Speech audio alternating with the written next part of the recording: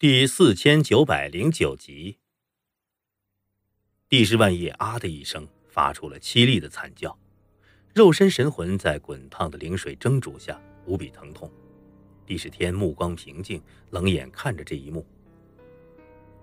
三个时辰后，帝释万叶被活生生的煮死了，他的肉身被玉皇谷地浇灌了无数精华与材料，重铸成一副琉璃无瑕的法身。帝释天。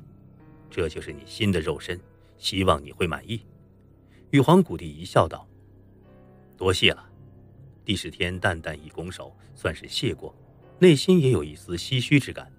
自己家的老祖宗就这样在自己眼前活生生的被烹死。老祖宗的身体成了自己新的肉身，曾经破灭的理想，此刻又有了实现的希望。帝释天心里也是百感交集。玉皇谷地手掌一挥。帝释天的魂魄便融合到帝释万叶的肉身里去。融合的过程非常顺利，毕竟两人的血脉是同出一源。帝释万叶的肉身五官一阵扭曲，很快就变化成了帝释天的模样，头发也变成了白发。帝释天从药鼎里走出来，又恢复了昔日风度翩翩、雌雄莫辨、淡雅沉稳的模样。他继承了帝释万叶的部分修为。此刻一步登天，拥有了天君一层天的实力，在帝释天的身躯上还有一片片的枫叶，一缕缕的红莲业火在飘荡着。帝释万叶的神通九天神术之一曼珠沙华经也被他继承了。这一刻，帝释天就是九天神术的执掌者，千条霞彩，万道锐气从帝释天的身躯上弥漫出来，浩浩荡荡的震彻云霄。帝释天仰望着天穹，无尽感叹。玉皇谷地击掌大笑道：“好，很好，融合的很顺利。”帝释天，祝贺你获得了新生。顿了顿，玉皇谷地又抽出一把剑，赠送出去道：“这把剑是我杀死人家的老祖任独行用他的遗骨铸造的。那人家老祖是无量强者，他的遗骨能量非同小可。”此剑也可称得上是无量神器，我便赠予给你。帝释天抄手接过，剑长三尺，锋芒滚滚，在靠近剑柄的地方镌刻着“独孤”二字，是昔日人家老祖的天君称号。昔日的人家老祖独孤天君任独行，今日已经死去，遗骨被铸造成剑。帝释天收好独孤剑，又拱手谢过。玉皇古帝笑道。你便回你帝释家族吧，见见你在太上世界的亲属。我已在你的体内种下了禁制，你今天刚刚重生，先熟悉一下身体修为，再熟悉熟悉太上世界的法则。如果有什么任务，我会再召见你。帝释天略一感应，果然发现，在自己头顶上，就在头骨之中烙印着一道禁制，就镌刻在头骨枷锁之中。当年帝释万叶斩家，头骨枷锁还没斩断，即便肉身重铸，枷锁仍在。玉皇谷帝只要一个念头，就可以引爆禁制，让帝释天神魂俱灭。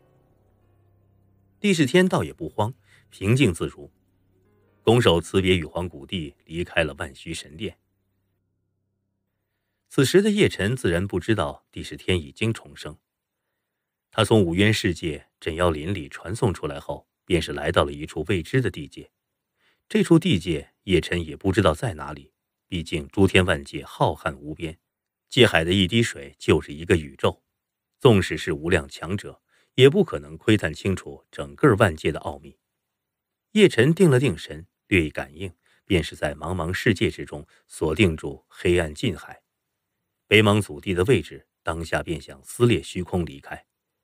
但是骤然间，叶辰捕捉到，在这片地界深处传出一丝隐晦的灵气波动。那一丝灵气波动，让得他的轮回圣魂天也是发出了共鸣。是地狱魂道的气息。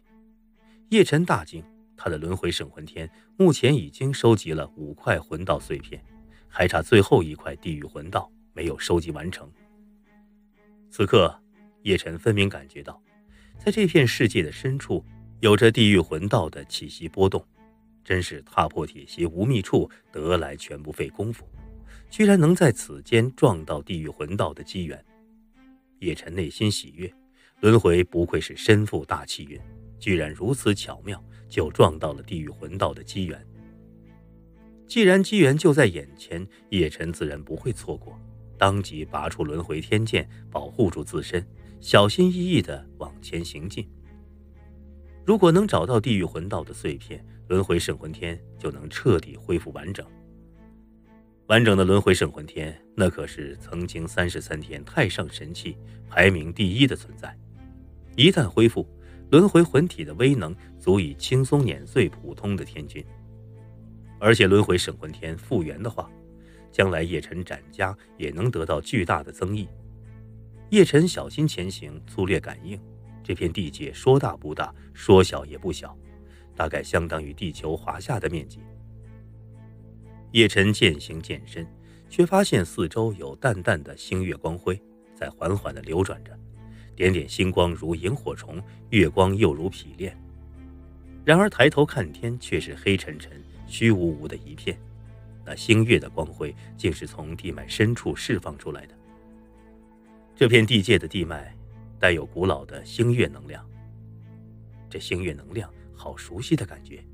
与若雪身上的倒是有些共通之处。叶晨想起了夏若雪，夏若雪练成了太上星息道，现在周围的星月能量便与太上星息道的因果有着一丝渊源。这到底是什么地方？叶晨眉头紧皱，试图推演天机，但发现此地因果缥缈，岁月太久远了，一切痕迹都不可寻。轮回天剑。就在这个时候。一道带着惊讶的苍老声音隐约在虚空里响起：“谁？”叶晨顿时警惕，提剑环视四周。小友莫慌，老夫没有恶意。四周淡淡的星月光辉里，渐渐的显化出一个苍老的身影。那是一个衣衫褴褛的老者，皱纹很是浓重，不知道活了多久岁月，浑身都是沧桑的气息。他的气息又完全与地脉相融，所以刚刚叶晨竟是没有发现他的存在。天玄境一层天，叶晨仔细捕捉，发现那老者的修为是天玄一层天。以他目前的实力，一根手指头就可以碾死了，顿时放下心来。老夫这点微末修为，倒是让轮回之主见笑了。老者笑了笑，目光始终。在叶辰的轮回天剑上面，叶辰还想寻找地狱魂道，当下便拱了拱手，缓声道：“在下叶辰，的确便是这一世的轮回之主，不知老前辈怎么称呼啊？”那老者道：“老夫古狂，一截苟延残喘的朽木，今日轮回之主大驾光临，可真是令这片荒废的遗迹生辉了许多呀。”古狂。叶晨听着老者的名字，颇有些意外，想不到这个行将就木的老人有着这么一个狂放的名字。老前辈，不知这里是什么地方，在下是意外闯入，若有打扰，还请见谅。叶晨只想探听地狱魂道的消息，古狂笑道：“不打扰，不打扰。这地方便是星月神教的一处遗迹，今日轮回降临，乃是本教天大的荣幸。”叶晨心中一震，星月神教便是清月女帝开创的教派吗？星月神教和夏若雪之间有着千丝万缕的因果。叶晨早就听夏若雪说过关于星月神教的来龙去脉。夏若雪在练成太上星息道后，星月辉映，气象震荡诸天万界，引起了太上世界星月神教的注意。星月神教的老祖宗清月女帝已经发下神谕，要接夏若雪去太上世界执掌星月道统，重振神教辉煌。只是星月神教内部有分裂，有人支持夏若雪，有人却想杀掉她。在叶晨心里，自然也不想夏若雪去太上世界，毕竟他的因果他可以自己解决，并不需要依赖夏若雪。那古狂听到叶晨的话，也是颇有些喜意。轮回之主也听过我星月神教吗？叶晨道：“略有耳闻。”古狂忽而又悠悠一叹道：“当年我星月神教的教主清月女帝，为了争夺铁王座，大战诸多无量强者，最终遗憾失败。这片地界便是我星月神教曾经的地盘。星月神教鼎盛之时，在诸天万界都有道场，但那一战结束后，女帝教主陨落，我神教元气大伤，被迫放弃了大量道场。”只留下太上世界的核心地盘。此方遗迹便是当年的道场之一。叶晨听到这里，便是明白过来，原来如此，原来这片地界正是星月神教的遗迹，一处被废弃的道场。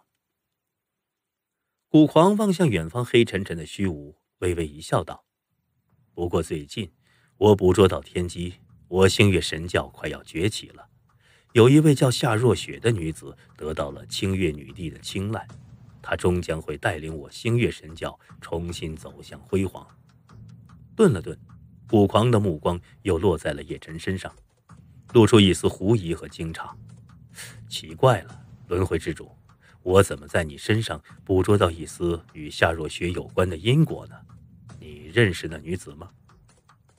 叶晨咳嗽两声，摆了摆手：“前辈，不说这个。”祝你神教早日兴复，但我来此地却与星月无关，而是被一缕地狱的气息所吸引。听到叶晨提及“地狱”两字，武狂面容微微色变道：“此间的确有地狱的气息，但非常隐晦，想不到居然会被你发现。轮回的感应果然敏锐。”叶晨连忙道：“前辈，那地狱的气息源自何方？或许和我的轮回之道有关。”还请前辈告知。